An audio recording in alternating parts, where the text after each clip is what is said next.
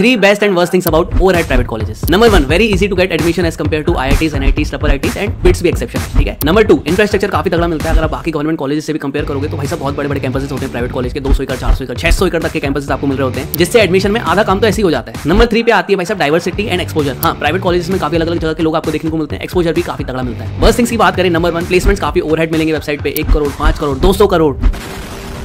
सारी हवा वाली बातें होती हैं, ठीक है वेबसाइट्स पे, ठीक है? मीडियन और एवरेज पैकेजेस के बारे में बहुत कम बात किया जाता है। कितने बच्चे ग्रेजुएट हो रहे हैं, कितने प्लेस हो रहे हैं, बहुत कम बताया जाता है। नंबर टू फ़ीस काफ़ी ज़्यादा देखने को मिल रही है आज के टाइम पे, पच्चीस लाख, बीस लाख, पंद्रह लाख, ये फ़ीस है। एंड एवरेज की बात करें, चार से छह लाख हमें देखने को मिलता है। ओवरऑल आर बहुत कम है। Number three very high student है। भाई साहब, हज़ारों में बच्चे हैं। कंप्यूटर साइंस की बात करें, चार हज़ार, पाँच हज़ार, छह हज़ार तक बच्चे ले रहे हैं प्राइवेट कॉलेजेस क्या मतलब माइक्रोसॉफ्ट आके एक बच्चे को लेकर जाती है?